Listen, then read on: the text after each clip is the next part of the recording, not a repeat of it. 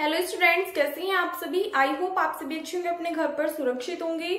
मैं ज्योति, आप सभी का स्वागत करती हूँ आपके अपने यूट्यूब चैनल चंदवानी क्लासेस में, जहाँ पर हम पढ़ते हैं ग्रेजुएशन के लिए physics chemistry and maths and आज के इस क्लास में हम डिस्कस करेंगे बीएससी थर्ड सेमेस्टर की मैथ्स की फ़र्स्ट बुक एल्जेब्रा की कुछ इंपॉर्टेंट क्वेश्चन जो कि आपके एग्ज़ाम में मोस्टली पूछे जाते हैं। और ये वीडियो सिर्फ़ किसी एक यूनिवर्सिटी के लिए नहीं है, ये सभी यूनिवर्सिटी के लिए है। तो आप में से जिन भी स्टूडेंट्स के अभी तक एग्ज़ाम्स नहीं हुए हैं।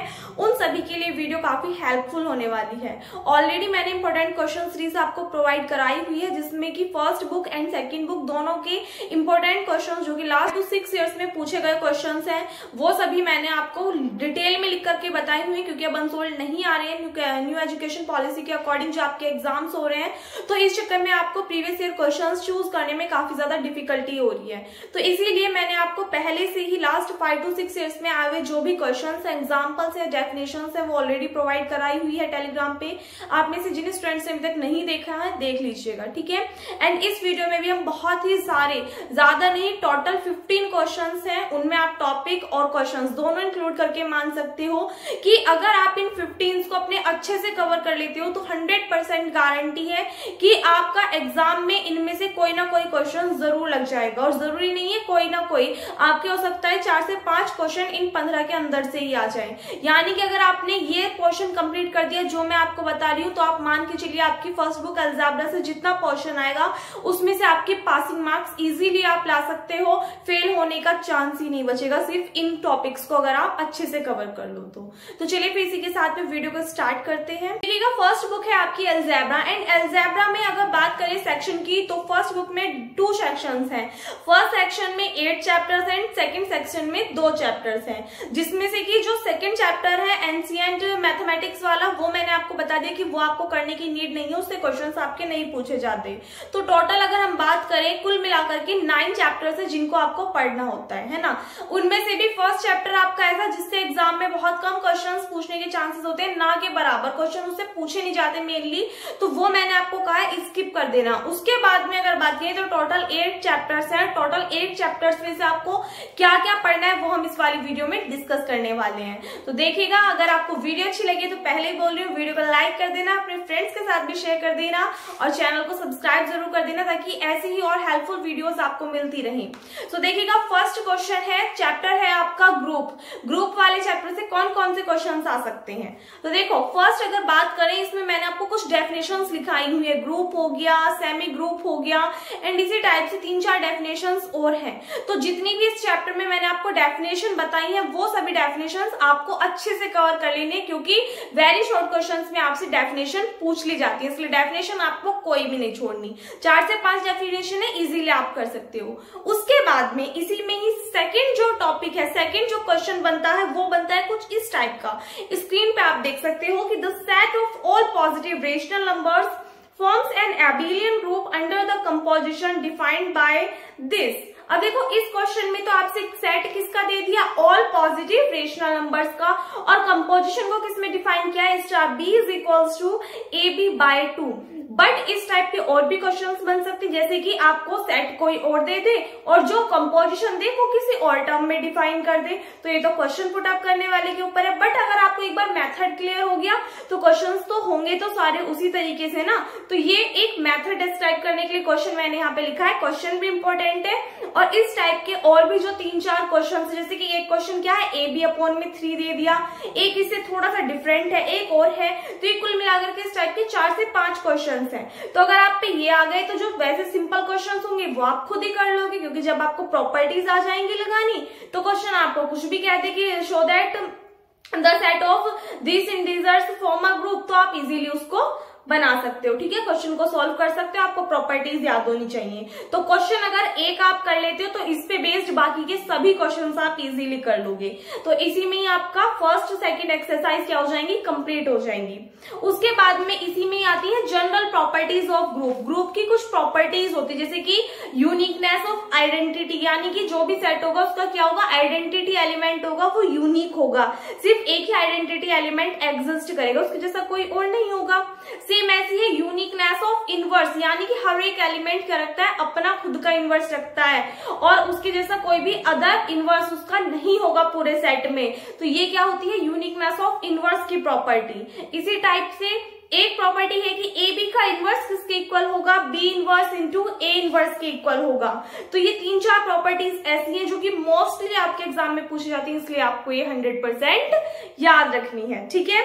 उसके बाद में बात करते हैं फोर्थ क्वेश्चन की and that is the very most important question कि the order of the element A and x inverse ax are the same, where ax are any two elements of a group. ये आपकी theorem है, जो कि exam में काफ़ी times पूछी गई है और सभी यूनिवर्सिटी के लिए इंपॉर्टेंट है तो इसको भी आपको अच्छे से कवर कर लेना है। अगर आप इस वाले चैप्टर का, ये जो मैंने आपको चार क्वेश्चंस बताए हैं, इन चारों क्वेश्चंस को आप अच्छे से कवर कर लेते हो तो ये मान के चलिए ग्रुप में से अगर आएगा तो इसमें से आपके कुछ ना कुछ क्वेश्चंस लगने की पॉसिबिलिटी बहुत ज़्यादा है। मोस्टली ये क्वेश्चंस आपसे पूछे जा चुके हैं। उसके बाद में चैप्टर आता है नेक्स्ट आपका परमुटेशन ग्रुप परमुटेशन ग्रुप क्या है? देखो, ये वाला चैप्टर आपका इतना इजी है कि अगर आपने एक दिन में वन आवर का टाइम दिया ना तो उस वन आवर में इस चैप्टर की जितनी भी डेफिनेशन है, जितने भी क्वेश्चन है, आप सभी को इजिली कवर कर सकते हो बिना किसी टेंशन बिना किसी प्रॉब्लम के। एंड गारंटी है कि हर एक क्वेश्चन आपको बिल्कुल अच्छे से समझ में आएगा। वीडियो का लिंक आई बटन में मिल रहा है। अगर आपने अभी तक वीडियो नहीं देखी है परमुटेशन ग्रुप की और कहीं से भी ये वाला चैप्टर नहीं करा है तो इस वीडियो से आप इजीली कर सकते हो। आपको हर एक चीज़ बिल्कुल क्लियरली बताई हुई है एंड गारंटी देती हूँ कि आपको वन आवर के अंदर अंदर आपको ये वाला चैप्टर कंप्लीट हो जाएगा और इससे फिर कोई भी क्वेश्चन बने, आप इजिली कर सकते हो। बहुत ईजी चैप्टर है इस बुक का मान के चलो तो सबसे इजिएस्ट चैप्टर है परमुटेशन ग्रुप चलिए, इसके बाद में नेक्स्ट चैप्टर आता है आपका homomorphism and isomorphism of group तो देखो अच्छा इसमें सबसे पहले तो डेफिनेशन आपको लिखाई थी मैंने। कौन कौन सी होमोमॉर्फिज्म आइसोमॉर्फिज्म इपीमॉर्फिज्म एंडोमॉर्फिज्म इसी टाइप से मैंने आपको तीन डेफिनेशंस लिखाई थी और डेफिनेशंस इसकी काफ़ी ज़्यादा इंपॉर्टेंट है, जो कि आपसे वेरी शॉर्ट में या शॉर्ट में शॉर्ट नोट के थ्रू आपसे पूछ ली जाती है। तो डेफिनेशन तो आप इजिली लर्न कर सकते हो, उसमें तो कोई है ही नहीं कि मैथ का कैलकुलेटिव वाला पोर्शन है। तो डेफिनेशन आप याद कर लोगे, इससे ज़्यादा आपको इसमें कुछ भी करने की ज़रूरत नहीं है चैप्टर में अगर आप नहीं करना चाहते तो। सबसे इंपॉर्टेंट इसकी डेफिनेशन है, जो कि मोस्टली पूछी जाती हैं। उसके बाद में नेक्स्ट चैप्टर आता है आपका subgroup cosets and Lagrange's theorem इसमें से देखो, ये वाला टॉपिक तो आप हटाई दो लेग्रांजेस थ्योरम और केलेस थ्योरम का स्टेटमेंट एंड प्रूफ वो तो अच्छा काफ़ी काफ़ी ज़्यादा मोस्ट इंपॉर्टेंट है और कई जितने भी एग्ज़ाम्स हुए हैं, अब तक जिन भी स्टूडेंट्स के हो गए हैं थर्ड सेमेस्टर के एग्ज़ाम उनमें क्वेश्चन देखने के लिए भी मिला है लेग्रांजेस थ्योरम का। तो इसीलिए लेग्रांजे थ्योरम और केलेस थ्योरम दोनों का प्रूफ एंड स्टेटमेंट दोनों आपको अपने अच्छे से कवर करके रखने हैं, ठीक है? उसके बाद में डेफिनेशन है दो सब ग्रुप की डेफिनेशन कॉसेट्स की डेफिनेशन ये भी आपको अपने अच्छे से कवर कर लेनी है, ठीक है?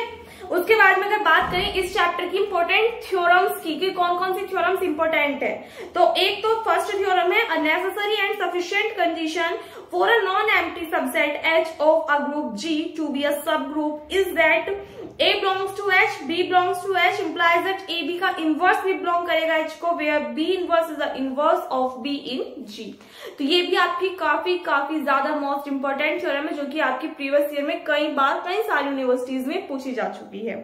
इसके बाद में नेक्स्ट थ्योरम अगर आप देखो तो नेक्स्ट थ्योरम है कि if H1 and H2 are two subgroups of a group G then H1 intersection H2 is also a subgroup of G. ये मैंने आपको कराते टाइम भी बताया था कि काफ़ी ज़्यादा इंपॉर्टेंट थ्योरम है ये। तो आपको ये अच्छे से अपनी कवर करके रखनी है, ठीक है?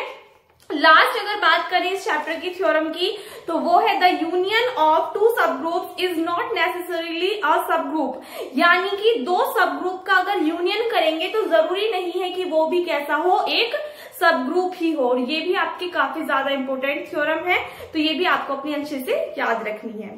इस चैप्टर में आपको सिर्फ़ इतना ही करना है, बाकी कुछ भी करने की ज़रूरत नहीं है। तीन आपको मैंने इंपॉर्टेंट थ्योरम बता दी, बाकी दो डेफिनेशन है और दो तो आपकी जो लॉन्ग थ्योरम है, जिनका स्टेटमेंट और प्रूफ दोनों ही इंपॉर्टेंट है, वो लेग्रांजे और केलेस थ्योरम है। क्लियर उसके बाद में नेक्स्ट चैप्टर आता है साइक्लिक ग्रुप साइक्लिक ग्रुप से भी आपके तीन टॉपिक इंपॉर्टेंट है। एक तो साइक्लिक ग्रुप की डेफिनेशन और दो इसमें थ्योरम्स है। कौन कौन सी? Every cyclic group is an abelian group and next इसमें थ्योरम है every subgroup of a cyclic group is cyclic तो ये दो इंपॉर्टेंट थ्योरम्स है जो कि आपको इस चैप्टर से कवर कर लेनी है। बात करें लास्ट के टू चैप्टर्स की, यानी कि एक तो हो गया नॉर्मल सब ग्रुप एक हो गया आपका रिंग्स एंड एक हो गया सब रिंग्स तो बच्चों देखो, दोनों के दोनों जो चैप्टर्स है, एक तो सब ग्रुप नॉर्मल सब ग्रुप वाला, एक रिंग का एंड उसके बाद में एक चैप्टर है सब रिंग्स एंड आइडल्स तो जो चैप्टर है रिंग वो ही कनेक्टेड है किससे? सब रिंग्स एंड आइडल्स से. अगर आप रिंग अच्छे से कंप्लीट कर लेते हो, देखो ग्रुप अगर आपने पहले कंप्लीट कर लिया तो रिंग में दिक्कत नहीं आएगी. रिंग की प्रॉपर्टीज़ कुछ कुछ सिमिलर है किसकी तरह? सब रिंग्स की तरह. तो अगर रिंग्स आपने कंप्लीट कर लिया, फिर आपको सब रिंग्स इजी लगने लगेगा. क्लियर इतनी बात? तो इसीलिए जो सब रिंग्स एंड आइडल्स वाला चैप्टर जो रिंग्स वाला चैप्टर है, दोनों आपस में कनेक्टेड है. दोनों में सफिशियंट से ही टॉपिक्स मैंने कराए हुए चाहे वो एग्जाम्पल्स हैं थ्योरम्स हैं या क्वेश्चन है.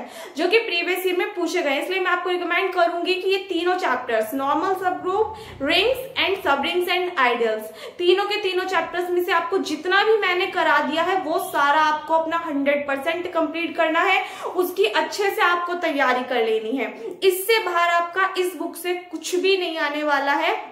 मतलब जो क्वेश्चंस आपको कराए हैं, वैसे तो वो सभी आपको करने हैं बट अगर हम इम्पोर्टेंट इम्पोर्टेंट क्वेश्चंस की बात करें, जो कि मोस्टली पूछे गए हैं कुछ साल में सभी यूनिवर्सिटी के लिए तो कंक्लूजन निकल के आता है इन 15 टॉपिक्स एंड क्वेश्चंस का। तो अगर आप इनको कंप्लीट कर लेते हैं तो ये बैक के चांस तो खत्म हो जाएँगे ऑलमोस्ट बाकी इससे ज़्यादा जितना आप कर सकते हैं, उतना आपके लिए ज़्यादा बेनिफिट होगा, ठीक है?